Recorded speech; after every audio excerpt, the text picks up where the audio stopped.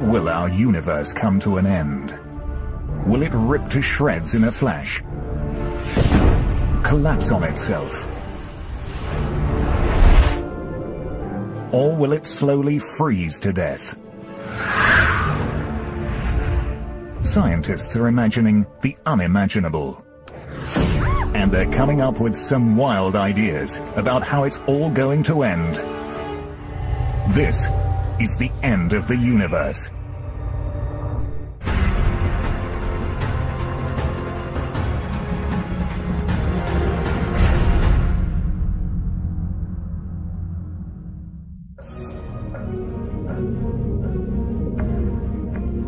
A battle is taking place in the farthest reaches of space. No one can see it, but scientists are certain that it's happening, and that the outcome is grim. The universe is going to end.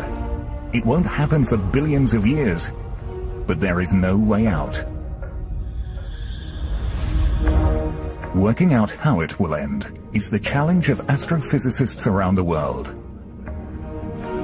They're pointing high-tech equipment out toward the heavens to unlock the secrets of our fate. The possibilities are frightening. In one scenario, gravity pulls the universe back into itself, similar to air being let out of an inflated balloon.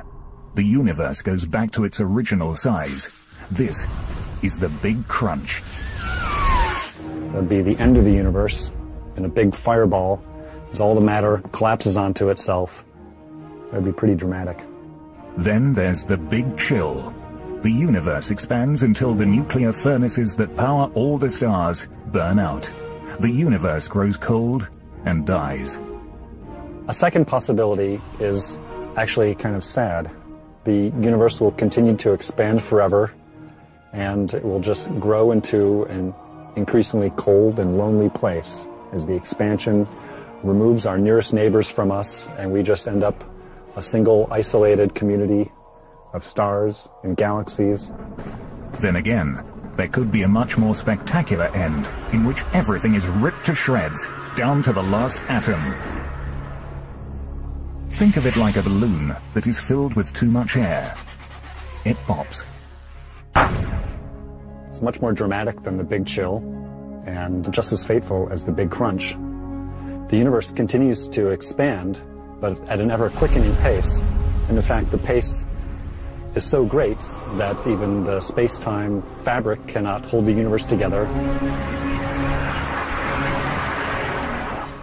However, the end comes, it will be a dramatic conclusion. To understand how it all could end, scientists turn to how it began. The mystery starts to be solved here at Mount Wilson Observatory overlooking Pasadena, California. In 1929, while looking through what was then the world's largest telescope, Edwin Hubble makes a strange discovery. The universe is expanding. Hubble's discovery led to a whole new picture of the universe, that it was a dynamic environment and that it evolved. It changed in time. And that's different from pictures that people had of cosmology previous to that. Before Hubble, scientists said that the universe was static and unchanging. Hubble's discovery that the universe is expanding meant it had a starting point. A beginning.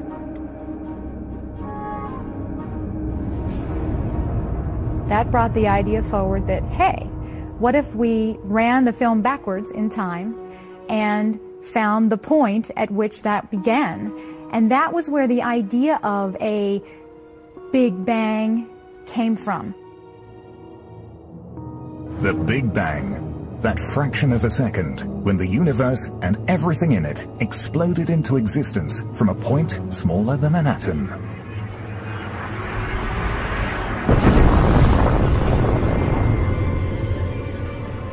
One common misconception about the Big Bang is that we can identify a point in space where the Big Bang occurred. But in fact, it's more appropriate to think of the Big Bang as a simultaneous creation everywhere of space, which is then continuing to expand to the present day. If the universe has been expanding since the Big Bang, scientists must consider that it will stop expanding at some point. The question is, how?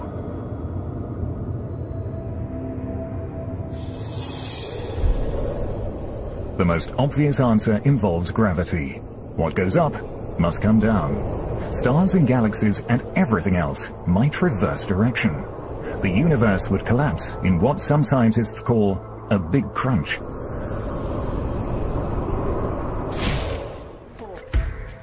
Take the top and then see the other handle and just jerk them apart. A model rocket offers clues to how the Big Crunch would work. The rocket is like the universe expanding into space out of the Big Bang. An initial bang allows the rocket to overcome the pull of gravity. Five, four, three, two, one. The engine blast gets the rocket moving off its launch pad. It accelerates into the air and breaks free of gravity's pull, for the moment. It appears as it's climbing upward that it will never stop. But Earth's gravity won't allow this to go on forever. Eventually, when the fuel is exhausted, the rocket coasts about a meter higher, stops, and is pulled back to Earth. This is what would happen with a big crunch the entire universe is essentially pulled back to its launch pad. The universe itself has its own momentum, its own energy. It's moving outward. But eventually, there's a point where possibly the universe will stop that moving outward, just like the rocket that we saw, and have to fall back in upon itself and collapse again under the force of its own gravity. In this scenario, the universe could return to its original state just before the Big Bang, setting the stage for a perpetual seesaw of creation and destruction. The Big Crunch theory moved to a scientific backburner. Cosmologists worked out that there must be some form of energy that keeps the universe from collapsing.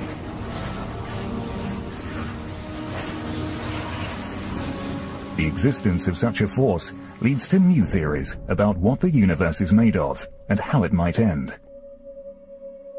And evidence about how this might play out is found in some of the most powerful and mysterious phenomena in the cosmos. Black holes.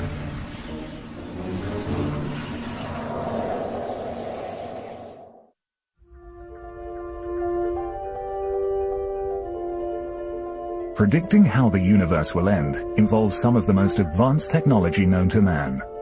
On a remote volcano on the island of Hawaii, astronomers are monitoring a battle in space that is shaping the fate of the universe. At an elevation of nearly 4,300 meters, the Keck telescopes bring astronomers from all over the world nearer to space for a clearer view of the cosmos. They come here because the telescopes work best far away from city lights and as high as possible above the Earth's polluted air. Harsh conditions make it difficult to work here, but for scientists in pursuit of the great mysteries above, it's paradise. So this is a remarkable location. But of course the air is very thin, it's extremely hard to work here. But these telescopes are amazingly powerful. But we're ambitious astronomers. We don't just stop looking at easy objects. We try hard to look at the very faintest objects so we can understand the extremities of the universe, the most distant objects that tell us about the universe when it was very young. Here, astronomers like Richard Ellis are working on a problem that has been all-consuming for cosmologists since Edwin Hubble. They know the universe is expanding, but what they don't know is how fast. It will be difficult to predict exactly how the universe will end until they solve this mystery. The answers lie in the past. An astronomer like myself uses a ground-based telescope as a time machine. We're looking back in time to study distant galaxies, seen as they were a long, long time ago. Richard Ellis and scientists like them train their telescopes on light from the past. They're seeing things that validate long-standing theories about the cosmos by observing objects that technology has only recently been able to see.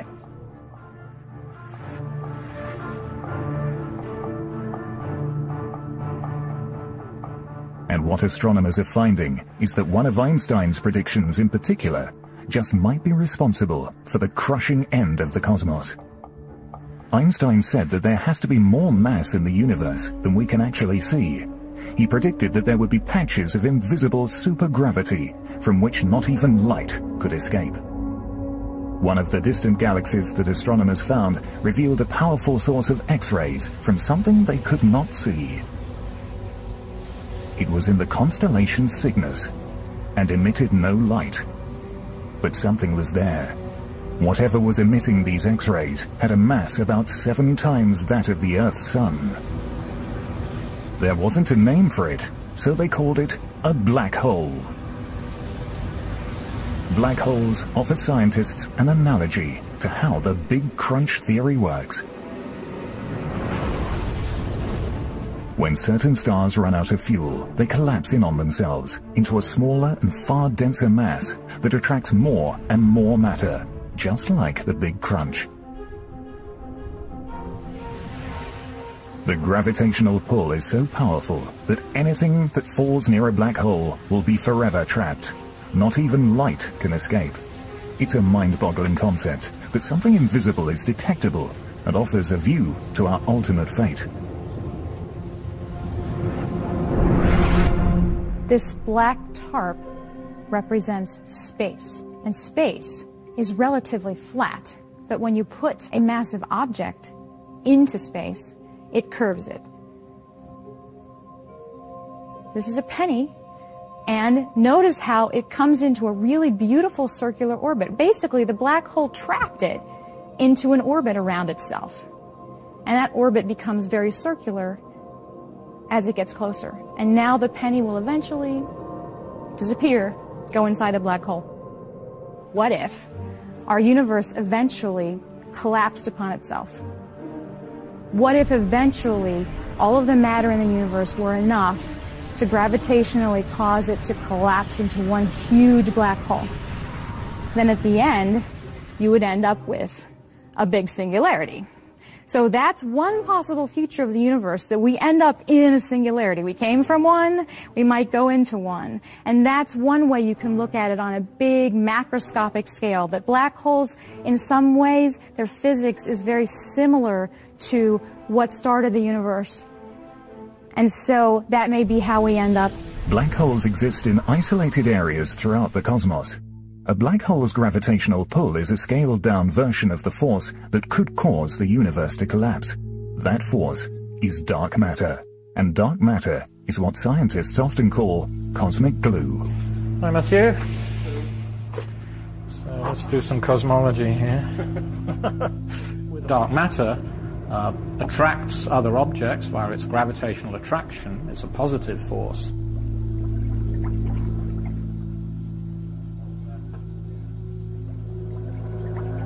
dark energy, we don't really understand what it is, but it's a negative repulsing effect that pushes galaxies away from each other. The whirlpool in Richard Ellis's demonstration represents the gravitational force of dark matter. The green dye coming out of the syringe shows how the stuff of the universe collapses under the force of dark matter. The presence of dark matter acts as the focus for the gas in the universe, bringing structure together. This is how the Milky Way developed as the universe expanded. Little things merging into big things, the positive, constructive force of gravity. Now, if this was the only force in the universe, the universe would stop expanding at some point in the future, and eventually the universe would start collapsing. Gravity would eventually halt the expansion, bring it back together in a big crunch. This dark matter is responsible for producing galaxies in a finite amount of time. If, if we had to rely on the gravity of atomic matter to produce galaxies, we wouldn't be anywhere, we wouldn't exist today to be able to ask these questions because there's not enough time for gravity to have condensed the atomic matter that we know exists in the cosmos.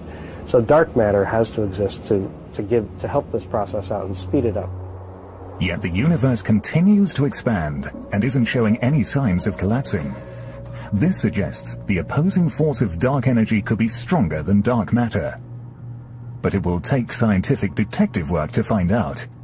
They look to one of the most violent forces in the universe for clues. We're studying exploding stars to try to understand if they can tell us the rate at which the universe is expanding.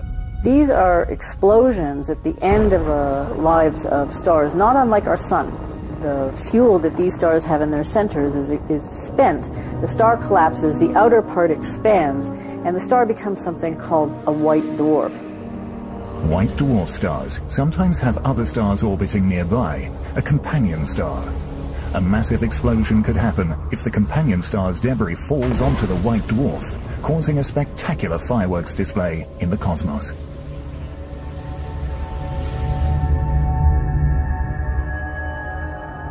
Scientists consider exploding stars or supernovae, like in these images captured by the Hubble telescope, to be reliable telltales of how fast the universe expands. Their brief and bright explosions allow scientists to track the universe's expansion and give them a way to measure its speed. Essentially, they are white dwarf stars that become nuclear bombs. They explode with a certain brightness and a certain length of time. It takes a certain amount of time for that brightness to dissipate. They are essentially standard candles. Any one of these will look the same no matter where it is in the universe. Astronomers measure the distance and speed of these exploding stars by measuring the amount of red light they emit. The faster the star moves away from us, the redder its light appears. When we study the spectrum of a supernova, we uh, get uh, indicators of its chemical composition. We understand the velocities as the supernova shell expands following the initial explosion. And so there's a lot of physics that we can study about the individual events. The expansion rate of galaxies containing stars like supernovae can then be used to interpret how the rest of the universe is moving outward. We know this because we can compare the velocities of galaxies with their distances. These are the clues that lead astronomers to answer just how soon the universe will reverse direction and come back together in a big crunch. Or this information might lead to an entirely different conclusion. Dr. Ellis is looking at clues at the Keck Observatory in Hawaii. While the telescope is on the top of a huge volcano, he is in a viewing room on another part of the island. Hey, emission lines, Johan. Oh, you, you see it? In the red, in the red side. At the same time, Johan Richard is at the California Institute of Technology in Pasadena, California, evaluating the light from a distant galaxy that the Keck telescope captured in Hawaii. He's looking to see if any of the known elements coming from the galaxy are in the red spectrum and moving farther away. We can interpret that as a velocity, as how much uh, the galaxy is moving away from us. We can really interpret how the entire universe is behaving, is expanding. Interpreting redshift is the cornerstone of the quest to pin down the fate of the universe. Clearer pictures of the universe that have only been possible in recent years have led cosmologists to conclude that the red shift of distant galaxies is greater than previously predicted. This is startling. Not only is the universe expanding, it's speeding up. Nothing in the observable cosmos could account for an accelerating universe. And yet the data seems irrefutable. This has to mean that an invisible force is working against gravity. Cosmologists have come up with a name. Dark energy. So when the universe was young, gravity was the most dominant force. And so what we see here is galaxies as particles on the surface of the water, bound together by gravity. And the point about 7 billion years ago, dark energy and gravity are pretty well in balance. But the universe continues to expand, the density goes down, and so dark energy starts to take over. And lo and behold, the universe starts to accelerate. Uh, so dark energy is now the dominant property of space. So the universe started out with a certain amount of energy, and we know we're trying to understand how much energy there is, and we know the universe is expanding as it as it moves outward with time. We also know now that the universe's expansion is accelerating, and we don't know is that acceleration going to slow down or not. We're still trying to understand that. So in understanding what's going to happen to the fate of the universe, we have to know how much energy is there, how much matter is there. The history of the universe is really a battle between dark matter and dark energy. Uh, these two forces are in opposition. And so both the history of the universe and its ultimate fate is really the competition between these two forces. The Big Crunch theory was a result of scientists interpreting that dark matter is the dominant force. But astronomers now suspect that dark energy might be much stronger. If so, the end could be dramatic and violent. It pulls apart solar systems, it pulls apart stars, and eventually it grows so strong that it pulls apart matter itself, breaks bonds, pulls apart atoms, and reduces everything to fundamental particles, and that's the end of the universe. The battle between dark matter, the force that holds the universe together, and dark energy, the force seeking to tear it apart, has set the universe on a path of destruction. If dark matter is the victor, the universe might collapse. If dark energy rules the cosmos, it could rip to shreds. The expansion grows so strong that it tears up the entire universe. It'll be a strange twist of fate. Dark energy, the force that propelled matter to form a magnificent universe, continues to push it outward and drives it to its demise. To find out if dark energy is in fact winning the battle, scientists will first need to know how fast the universe is actually expanding. The most remarkable feature of the universe is that it's expanding. Every galaxy is moving away from every other galaxy. We can illustrate that with this balloon. As we expand it, we see that every dot drawn on this black balloon, like the night sky, is moving away from every other dot.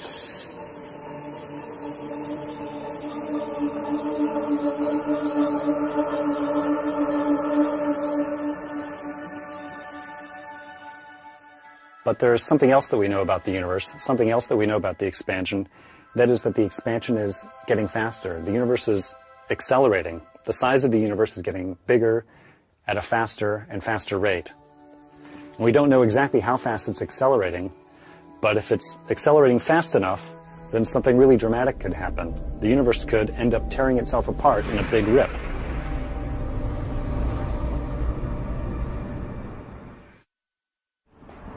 This is perfect. This is great that you rigged this up.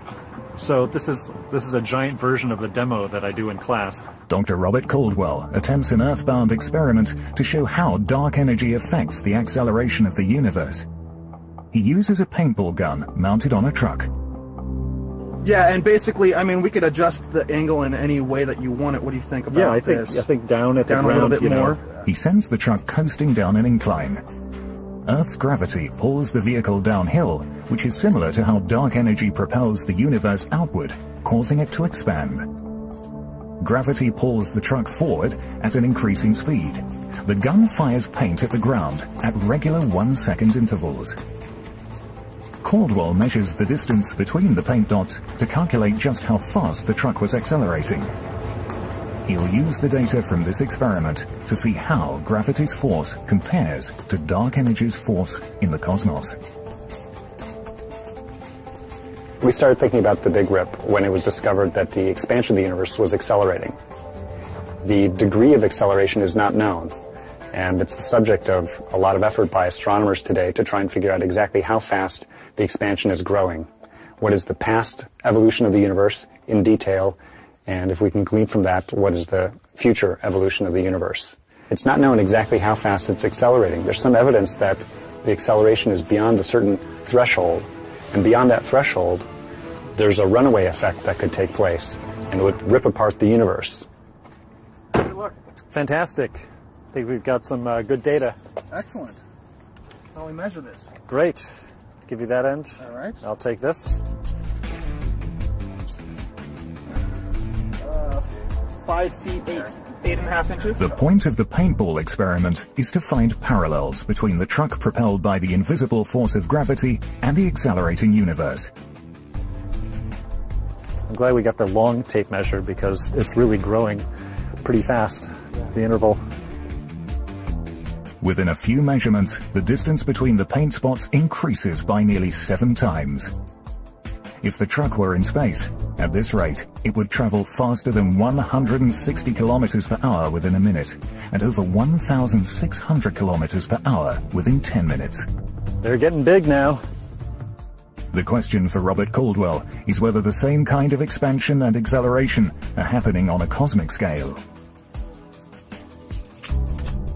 This right here is the data that I took with Eric. The cumulative distance traveled by the car as a function of time, and that's beautiful. It's this nice parabolic shape. That's exactly what you expect for an accelerating body. Now over here I've got another calculation going on where I'm uh, working out the acceleration of the universe. Robert Caldwell's calculation shows that forces on Earth are similar to forces in space. This demonstration then gives a sense of the dramatic rate of expansion that appears to be happening in the cosmos. By eye, it might be difficult to appreciate how good a fit it is, but uh, I can tell you that the weight of the statistics indicates that an accelerating universe is a very good fit to this data. If, like the truck, the universe is continually accelerating, then billions of years from now, the universe might tear itself apart.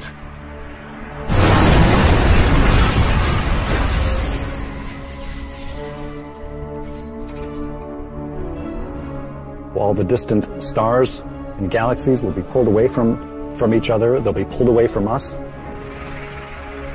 But moreover, we won't have time to grow cold and lonely. It'll actually be pretty exciting and dramatic and violent. Stars are ripped apart, planets are ripped apart, and even atoms are, are torn apart before the universe ends. It wouldn't happen for at least 50 billion years, but still it's an interesting fate for the universe. What would atoms ripping apart look like? Things like coffee cups are solid. Atoms join together to create something that will hold a cappuccino without leaking a single drop. Zoom in through the cup like sailing through the cosmos, past the molecules and into the atoms. The solid cup is nothing more than a fabric of atomic particles that formed a bond to become matter. If these particles were to move apart, the bonds that hold this cup together stop working. The atoms no longer support molecules.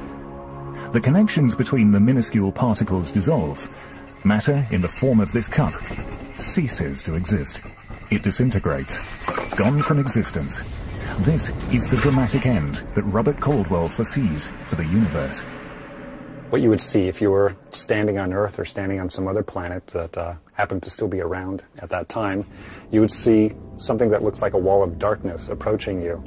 And as the wall of darkness approaches, uh, stars would go out, galaxies would go out, and then eventually uh, that wall of darkness would surround the planet. And then pretty soon, atoms themselves are torn apart, and that's it. Just the wall of darkness shrinks down to a point, and that's the end of the universe. According to Robert Caldwell, that moment is still billions of years off, leaving plenty of time to refine their research. In a way, this is like a detective story. We're trying to figure out what is the culprit or who is the culprit responsible for the cosmic acceleration. We think we know its name. We call it dark energy, but we don't know the modus operandi. We don't know exactly how it works. And what's needed is more information, more information about the physics behind the dark energy. We want to know exactly what it does and exactly what it's made out of. And in answering those questions, we'll be able to figure out exactly what is the fate of the universe. The Big Rip is one theory. Cruising just above Earth's atmosphere and peering deep into space, the Hubble telescope provides scientists with clues to a less violent but equally unavoidable end to the universe.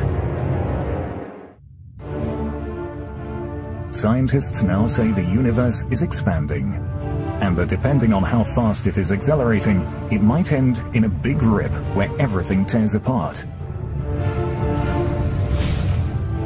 It's also possible that it will continue to expand, but at a slower rate. The universe wouldn't rip apart, but would become dark, cold, and lifeless. If dark energy turns out to be constant, a constant property of space, and continues at the same rate that it is now, the universe will keep expanding forever, and it will be a very sad state, I think. In the end, it just chills out. Everything cools down. Evidence for the Big Chill and all of the theories for the end of the universe, in part, come from the Hubble Space Telescope. It has been orbiting Earth since 1990 and has an unobstructed view of the cosmos. The extraordinary images it beams back to Earth are amazing in their clarity and detail. And because of Hubble, scientists can make better predictions about how the universe will end. So here is an example of a, a, very deep field that was taken by the Hubble Space Telescope, which literally you point the space telescope at a single region uh, in space. And if you looked at this from a typical uh, ground-based image before Hubble was launched, first of all, it's, it's a literally a, almost size of a postage stamp. And so suddenly, the first Hubble Deep Field that was ever taken had 4,000 galaxies that looked just like the galaxies here, that were never visible before from the ground. A tremendous power. Each of these smudges, in their own right, um, is another galaxy. Each one of these galaxies contains about 100 billion stars. Astronomers eagerly await all images from Hubble, each bringing them closer to solving the mystery about the fate of the universe. Through image processing with computers and differencing frames on taken on different nights, we can take out the other galaxies in the image and we're left with just this blob. Looks like nothing to you, but that's supernova. And this is an object that could never have been discovered before Hubble Space Telescope was launched.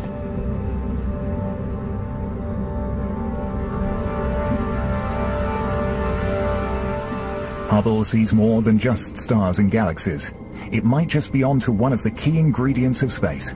An invisible ingredient that could put the brakes on dark energy's effect and cause a big chill. That's dark matter.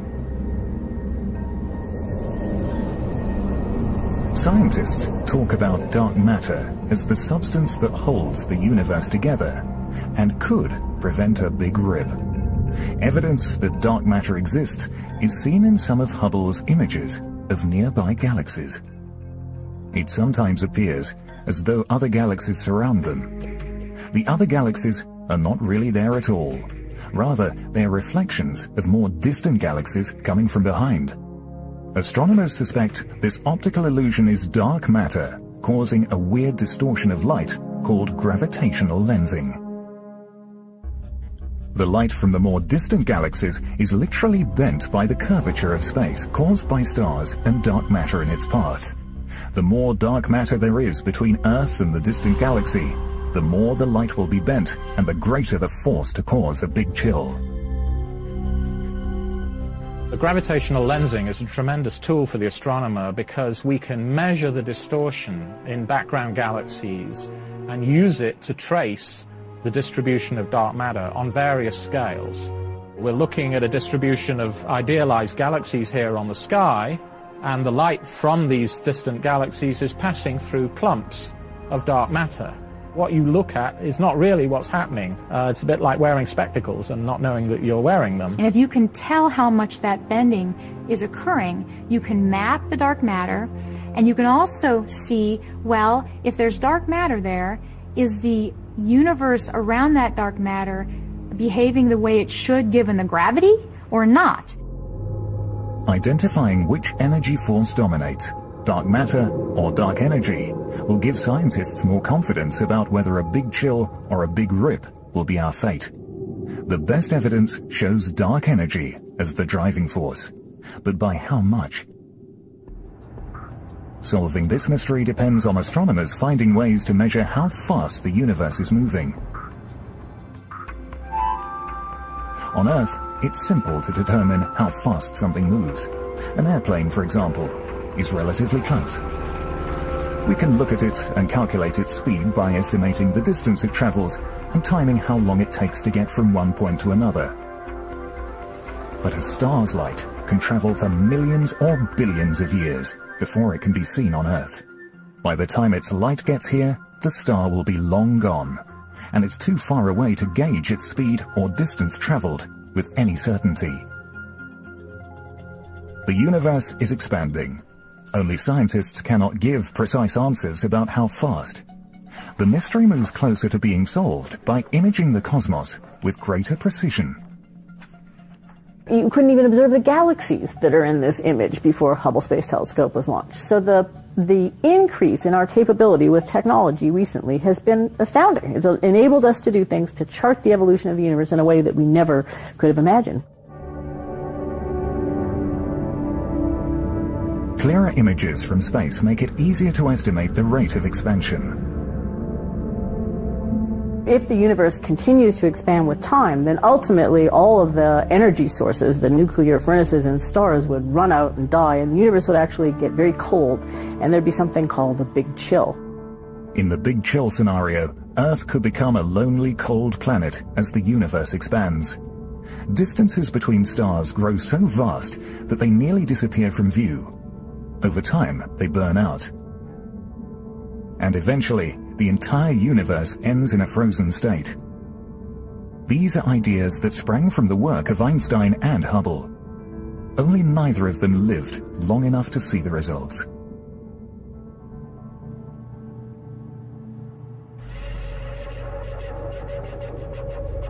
Imagine what Edwin Hubble and Albert Einstein would think if they were alive today watching the progress in the subject. You know, Einstein thinking about the expanding universe as a natural solution of his equations, but puzzled, you know, that the universe didn't appear to be changing. Edwin Hubble, desperate to measure whether the universe was slowing down in its expansion. In fact, you know, they were both wrong. It's speeding up. The time that Einstein developed the general theory, we didn't know that there were other galaxies outside of our own Milky Way galaxy, and we didn't know that the universe was expanding. And in fact, Einstein himself, despite the fact that his equations were screaming at him that the universe had to be evolving, didn't have enough confidence in that result to say the universe must be expanding or the universe must be contracting. Still, his work led to the scientific breakthroughs that would identify dark matter and dark energy, the forces that could cause a big chill. This sphere demonstrates the principles behind a big chill. The marbles coming out of this sphere are like stars that were formed following the Big Bang. Dark energy propels the stars outward. Dark matter slows them down. In a big chill, the expansion would continue, but the nuclear fuel that causes the stars to burn will eventually run out.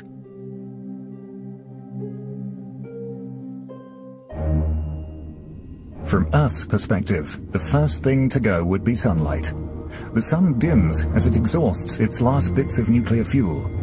Earth would freeze and become lifeless. And billions of years after humans are gone, the cosmos expands out of view.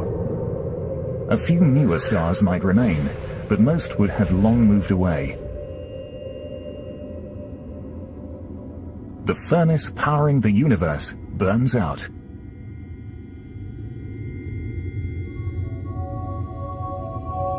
The darkened universe continues to expand. A frozen and lifeless remnant of its once vibrant existence.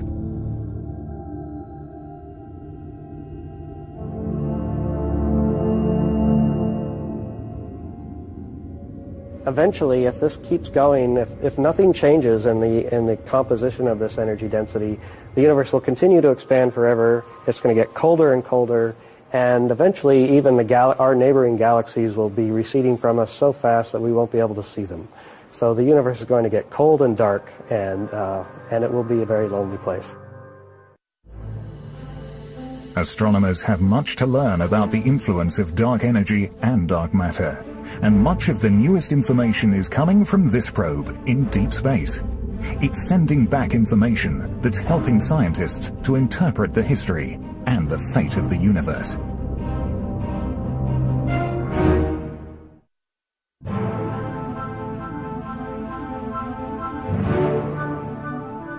The night sky, by all appearance, is a quiet and peaceful place.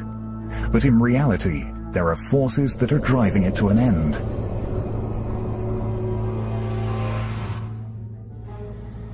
Big science moves astronomers closer to deciphering the universe's great mysteries, including its ultimate fate. The solution to the universe's riddle may well be hidden in this multicolored image. What's incredible is that it's a map of the early universe from the moment it was conceived. And even more fantastic, it reveals a great story that helps cosmologists predict how it will end.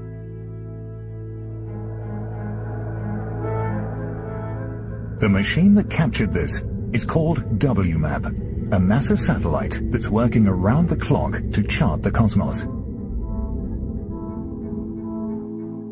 What we're looking at here is the edge of the visible universe. It's the light that WMAP measured, left, it's the remnant heat from the Big Bang, and this is literally the oldest light in the universe that we can see.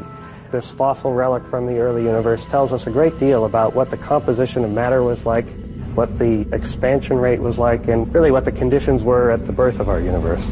WMAP is one of the great astronomical breakthroughs of the 21st century. Nothing before it could give us such a clear image of the energy left over from the Big Bang. Energy that scientists call the cosmic microwave background. WMAP is measuring temperature differences in the cosmic microwave background, which may finally make it possible to predict which force will dominate the universe and how that force will bring the cosmos to its end. The blue spots are regions in the uh, microwave light that was produced by the Big Bang that are slightly colder than the average temperature, and the red spots are regions that are slightly hotter than the average. Temperature differences revealed by WMAP tell scientists about the nature of the matter and energy that is contained within the universe. They're able to analyze the light patterns and find clues not only about the substance, but also the fate of the universe. We only capture a tiny part of the electromagnetic spectrum with our eyes, and we have to go to much longer wavelengths. The same wavelengths that are used to heat water in a microwave oven are what we're measuring here with WMAP. WMAP is so precise that it can detect differences in temperatures as small as one one-thousandth of a degree. This sensitivity helps scientists to calculate the ratio of dark matter to dark energy, forces that will determine how the universe ends. We assemble all those difference measurements and, and make a map of what the variations look like.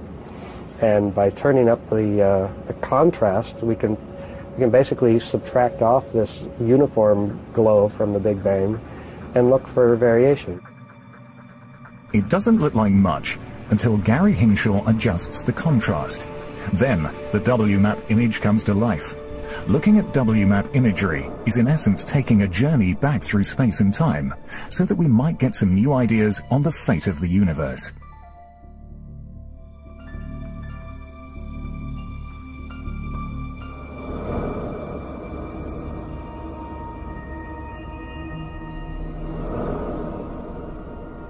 Pulling away from the probe and following the path of the light it is collecting, we pass Mars, Jupiter, and Saturn, whose reflected light takes over an hour to reach Earth. Then, leaving the Milky Way, we pass Andromeda, the next nearest galaxy, whose light takes 2.3 million years to reach us. Which means we have traveled 2.3 million years back in time.